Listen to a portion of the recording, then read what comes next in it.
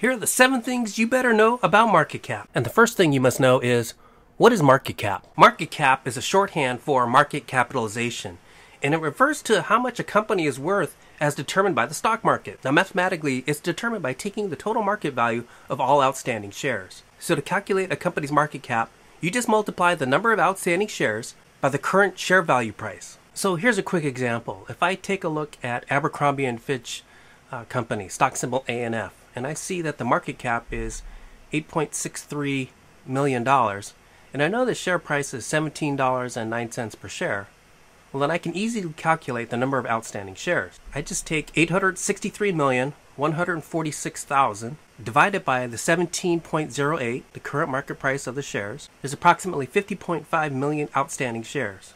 And we can verify this by taking a look at the statistics.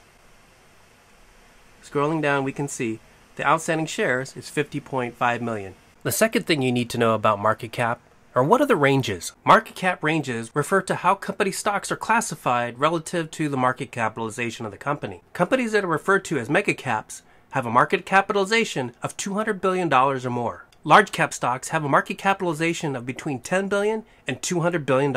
Next, mid cap stocks have a market capitalization between $2 billion and $10 billion. Small cap stocks have a market capitalization between $300 million and $2 billion.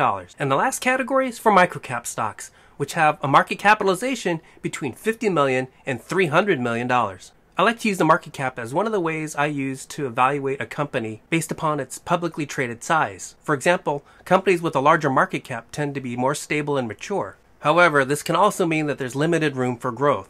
Now, conversely, companies with a smaller cap tend to have more room to grow because they can be more flexible and agile, but that also means that the company is typically younger and may lack some experience, and as a result, still needs to prove itself within the market space, which can mean higher price volatility and more risk. For example, I was talking to one of my coaching students the other day, and we were looking at Coca-Cola Company, stock symbol KO, which you can see is currently trading at $63.21 per share. But what's more interesting, though, is take a look at the market cap. It's $273 billion.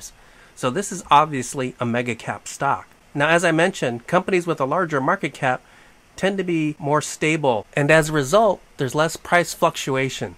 In fact, that's borne out by the fact that if you look at the beta value, it's 0.56. Now, if you're not familiar with beta, take a look at some of my previous videos, but quickly in a nutshell, um, the beta value is a measure of the expected move in a stock relative to the overall market. So, for example, if the beta value is greater than 1, it means that, that the stock is more volatile than the overall market, and beta values less than 1 indicate that the stock has a lower volatility than the overall market. So, for example, if this beta value was 1.5, that, that would mean that the stock is one and a half times more likely to have price fluctuation based upon the market. But this value for Coca Cola at 0.56, it means that it's roughly 50% less likely to have price movement based upon the overall market. Now, the third thing you must know is is the market cap a good size indicator? It's best to understand that the market capitalization of a company really just tells you the size of the company. And it can be used to compare one company to another company, even though they may be in different sectors or industries. So the answer is yes, the market cap can tell you the size of a company, but it doesn't tell you whether or not a company is a good investment or a bad investment. Number four, is the market cap more important than the stock price? So remember that the market cap is a function of the current stock price of a company. And it's a useful way to measure the overall value of a company. So rather than compare the prices of two different companies, you can now use market capitalization as a way to compare the overall value of a company against another company. And as long as the number of outstanding shares remains a constant for a company, as the share price fluctuates, then the market capitalization will also fluctuate. So a higher stock price will show up as a higher market capitalization. Similarly, a lower stock price will show a declining market capitalization.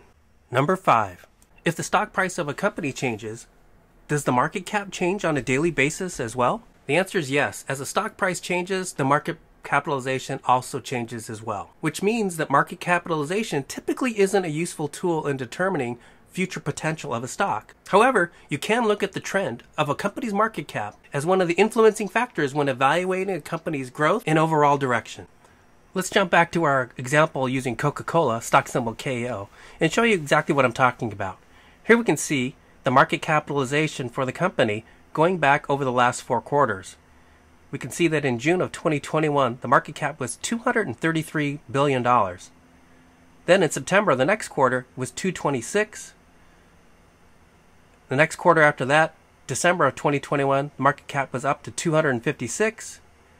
And then in this last reported quarter of March of 2022, the market cap was $268 billion. So you can see initially the market cap went down from the third quarter, from the second quarter down to the third quarter, and then it started to recover, and we see it increase into the last quarter of 2021, and into the first quarter, we also see an increase up to $268 billion.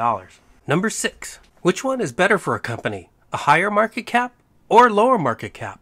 So, in general, I like to think of a company's market capitalization as a reflection of its stage in its business development and growth. Going back to our example using Coca Cola, this company's been around for a long time. It was founded in 1886, which means it's been in business for 136 years, giving this company plenty of time to grow and stabilize. And as a result, this company has captured the lion's share of the soft drink beverage market, which we see in the company's market capitalization of over $270 billion, making this a mega cap stock.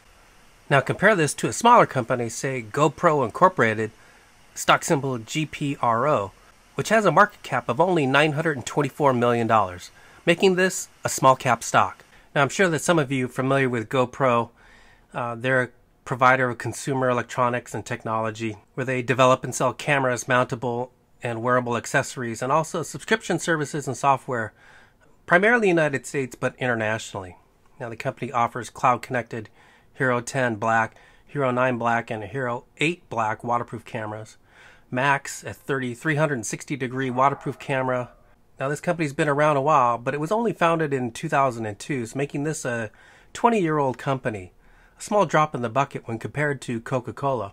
And while it is the market leader in this particular industry, it is a relatively young company, and its market cap only makes it a small cap company. We just took a look at two different companies, both of them considered leaders in their specific industry and niche. Coca Cola, mega cap stock, has a capitalization of over $270 billion, whereas GoPro, a small cap stock, has a market cap of only $970 million. These two companies are a prime example of how different market caps don't necessarily mean better or worse. These companies are both industry leaders and yet are, have very different market caps. What you must know, number seven. Are market cap for a company and the revenue of a company the same thing? No, they're two different things. The market capitalization of a company is very different than the company's revenue. Remember that market capitalization reflects the total value of a company based upon its current share price and the number of outstanding shares, whereas a company's revenue is the amount of money a company takes in as a result of its sales of both its products and services. Let's go back to our example using Coca Cola Company. Here we can see that the market cap is $274 billion. Next, let's take a look at the revenue for Coca Cola, and we can see that in 2021, the company had a revenue of $38.73 billion.